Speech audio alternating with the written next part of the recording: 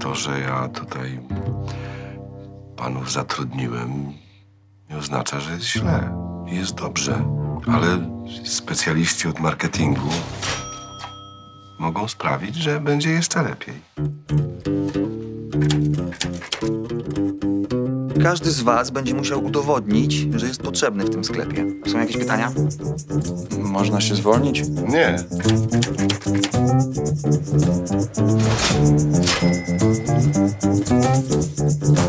No i w ten sposób udowadniam, że jestem potrzebny w sklepie. Bo to teraz naprawisz?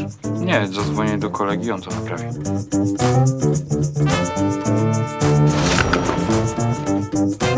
Nie sądzę, żebym musiał coś udowadniać. Gdybym był młodszy, to tu i teraz odbyłbym z tobą taki stosunek płciowy, że nie wiedziałabyś, jak buty zawiązać.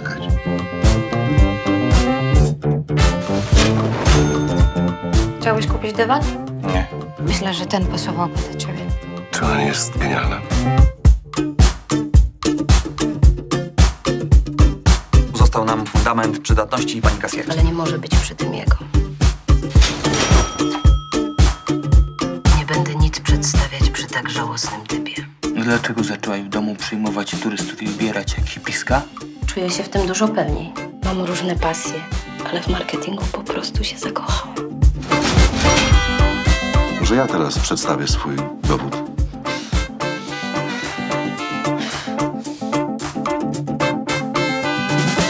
Musicie zdać sobie sprawę, jak bardzo smutne jest wasze życie. Bez sensu. Właśnie z sensem.